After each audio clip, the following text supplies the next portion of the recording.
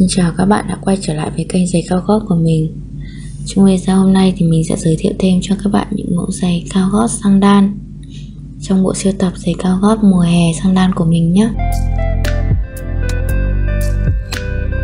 Như mẫu đầu tiên chúng mình thấy, Các bạn đang ờ, giới thiệu cho chúng mình một mẫu sang đan cao 12cm Và chúng mình có thể đi bằng hai cách để thay đổi và giúp chân mình thoải mái hơn nếu như các bạn mỏi.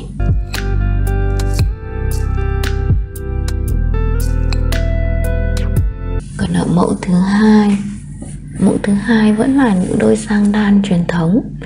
Ờ, chỉ có điều chất liệu thì sẽ là chất liệu nhung.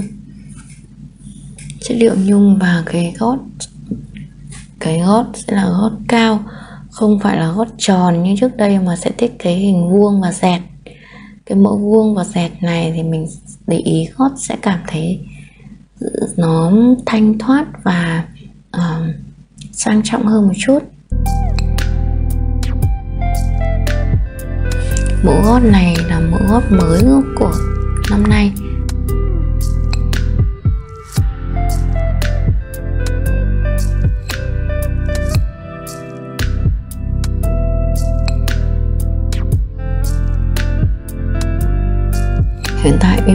Có màu đen và màu trắng.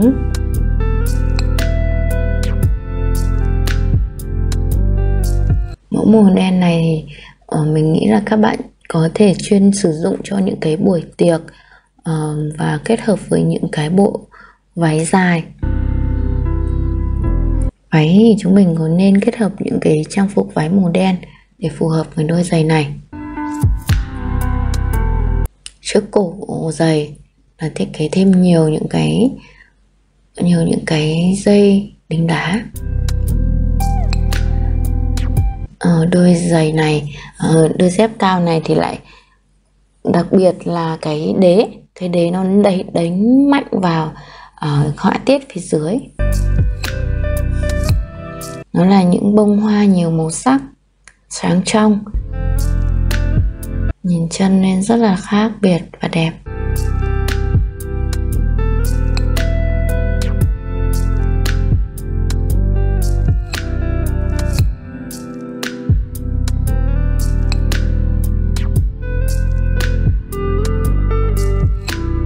Đây là một giày, đôi giày cao 12cm màu hồng.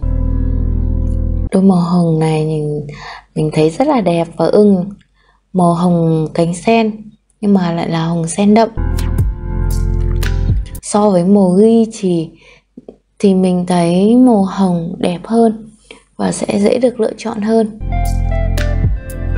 Cái màu hồng này còn khá là dễ kết hợp nữa.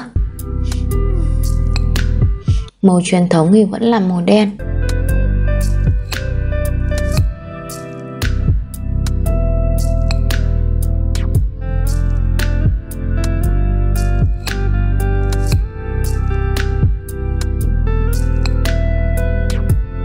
Gần đây mình sẽ giới thiệu cho bạn nhiều về những cái ờ, sang đan nhũ. Có nhiều màu khác nhau. Nổi bật gần đây là màu ghi sáng và màu hồng. Màu hồng nhìn chân đi rất là baby. Những cô nàng um, điệu đà thì chúng mình sẽ chọn những màu hồng. Vì kết hợp với trang phục của các bạn thì trang phục các bạn đã điệu rồi.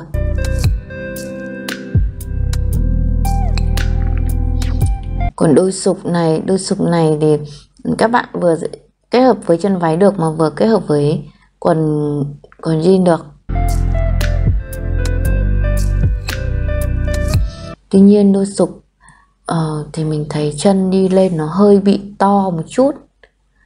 Nó hơi bị bè to ra một chút về phần ngang và mũi chân.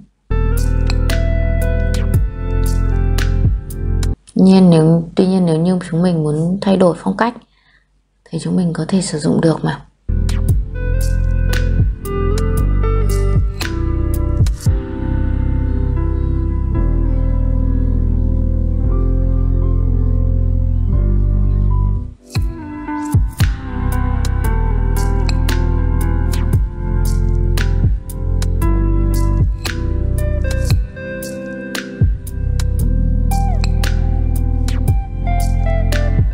Đây là một số những cái hình ảnh của mộng sang đan uh, mà kết hợp cái những cái cái điểm nhấn chỉ là những cái cái dây vòng ở phía trên thôi.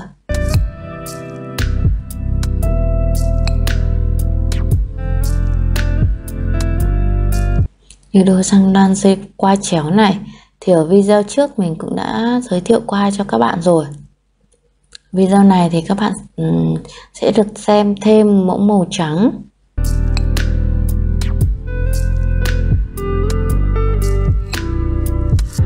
ừ, đôi dép cao này nhìn uh, rất là bắt mắt nhé nó có những cái hạt ngọc đứng nổi. Chứ thay vào đó không phải là những viên đá.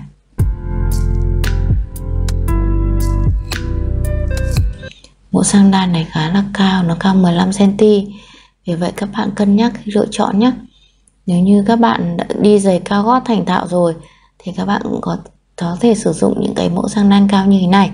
Còn nếu như các bạn mới chỉ đi giày cao gót một thời gian ngắn thôi và chưa tự tin đi những mẫu giày cao như thế này, thì các bạn nên lưu ý khi lựa chọn.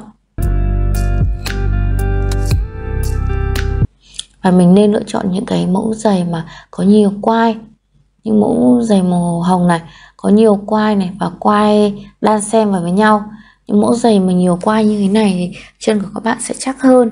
Nếu như các bạn chưa tự tin khi mà đi những cái đôi từ 15 cm thì các bạn cũng sẽ yên tâm vì chân sẽ đính chặt vào giày. Độ dốc sẽ được giảm bớt đi, bởi vì có nâng phần mũi chân là 5 cm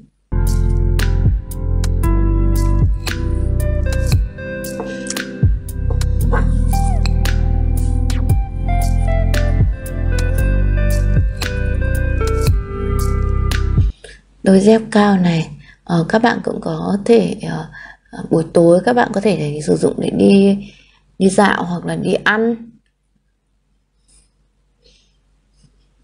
Nó được đính đá những viên ngọc. Gót thì phần gót chân sẽ là những cái gót ở trong. Nhìn rất là sang.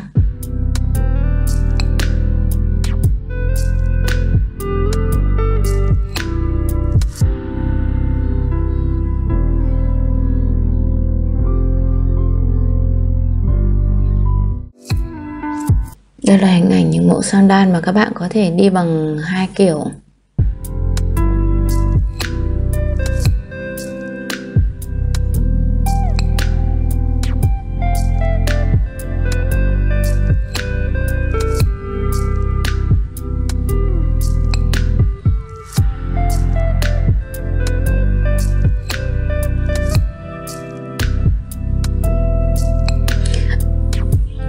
Quay trở lại ừ, với mẫu cuối cùng, đó là mẫu sang nam buộc dây.